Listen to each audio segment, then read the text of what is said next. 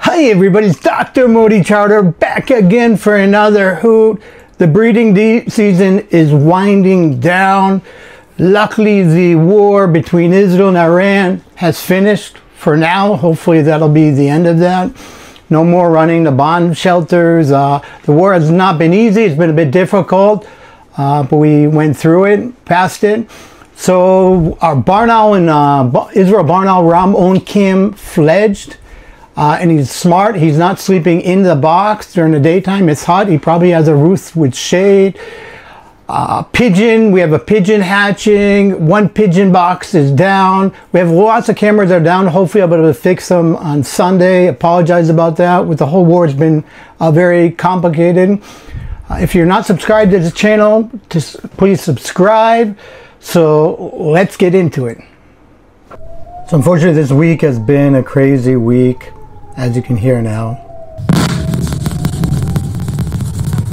Living through the war with all the sirens and all these things have been really, really difficult. You know, not for, only for us humans, but as you can imagine, for the animal, the wildlife that you get to see in the cameras, but also our dogs and cats.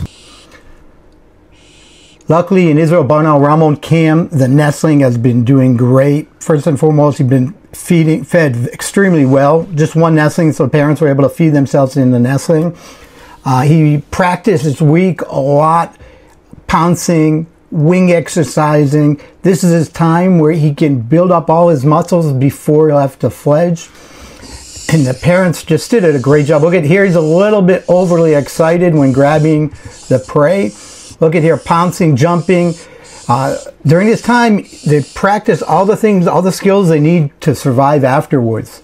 Uh, and he did a great job. A really cute little guy, swallowing the prey. A lot of times he like would like to play, play with the prey first, which is very common. Um, and the parents did an excellent job. I mean, remember in the beginning, uh, we had all the problems with the parents not bringing enough the food. At the end now, they got down to that one nestling. They're doing an amazing job. Look at that happy feet just flapping around. What a cutie. And he did uh, this week leave the box, go, went on the porch, uh, and almost fell. Uh, there's a very common thing. A lot of them fall and then uh, ultimately make it back. Uh, he's large enough, and look at the wing exercise and just building up those muscles.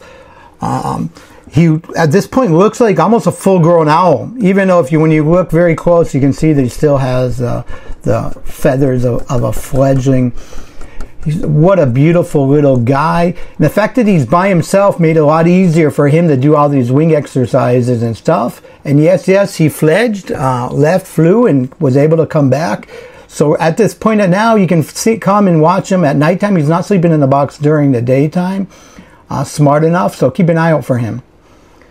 In Owl, Florida, cam number one, this is a pair. Uh, I don't know if it's the same pair as before or a new pair. There's lots of excitement that the behavior is very much like a new pair, but it may be the old pair that the, the, the male gets extremely overly excited when the female comes. Uh, initially, it was a little bit of aggressive, you know, jumping and all of that. Um, but before you know it, from that uh, jumping, more aggressive, overexcited, uh, they eventually will go into the poochie moochie. Uh, look at that. Wow, these guys are just so cute. Lots of noise, lots of communication. That noise is heard by other barn owls. They're letting them know that there's a pair here, here directly going into the poochie moochie, the kissing, the preening. These are all different things that help keep this pair bond strong. Uh, really, look at look at this. I mean, this is the ultimate, you know, happy feet. They're just super, super excited. This guy. Um, uh, in this case, actually, the, the female really, really excited. So this, this pair bonding is very important. They're probably not going to lay soon, but they'll lay in the end of the summer, maybe early fall, hopefully. Uh, barn owls courting is a beautiful thing to see. I mean, look at that. Here, getting a little bit over aggressive. Uh, but these guys are just uh, real. This pair is a beautiful pair. It's such an entertaining thing to watch how they court when there's no nestlings and all the attention is to one another. There you go into the poochie moochie, the preening the, each other's feathers, uh, taking the time to invest energy in in during the courtship period shows each other that they'll make a good pair when there's nestling, nestlings, that they dedicate the time and energy to find food. So this is exactly what the pair bonding is. Um, really, really great to see. In Barn Owl, Florida, cam number two, there's also pair a little bit less active, but they're there. So get, go in and watch that camera also. In uh, Common Kestrel camera number one, we had a hatching today. First nestling hatch. The second one should hatch today or tomorrow. Uh, we'll see. Hopefully the mynas will not come back. But to remind you, the last breeding, this is actually the fourth breeding, uh, was predated by myna. In Israel Barn Owl Cam number one, there's a pigeon pair um, grooming and preening each other. So um, hopefully they'll probably lay soon now that there's uh, no barn owls around. Uh, but we'll see sooner than later. In Griffon Vulture Cam, the handicap, beautiful handicap Griffon Vulture that we saw with the uh, sirens and the explosions in the beginning, the nestling's doing really well, doing also wing uh, exercises. His wings are obviously way larger, longer than the barn owls. Really, really cute little guy. Uh, at some point, he'll start leaving the nest and he'll stay around in the area and he'll join the wild vultures in the area. There's my dog Pofi barking, not happy about something. But going to this camera, really fun watching him uh, wing uh, exercising and everything. Really cute. So I hope you like this video.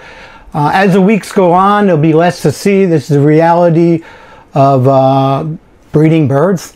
Uh, but before we know it, we'll have breeding pairs again in Florida, hopefully, maybe in both both of the boxes, which would be great. I want to thank everybody for your participation, watching the, the channels, writing the timestamps, the moderators. You guys are the best, in particular during this whole crazy war that we, I mean, Israelis have been less available. You guys have been the best. Uh, if you like this content and would like to help out. I put a link in the description where you can donate. Thank you very much for all the people that donated. So if don't forget to like, comment, subscribe, keep on watching. Hooch you later.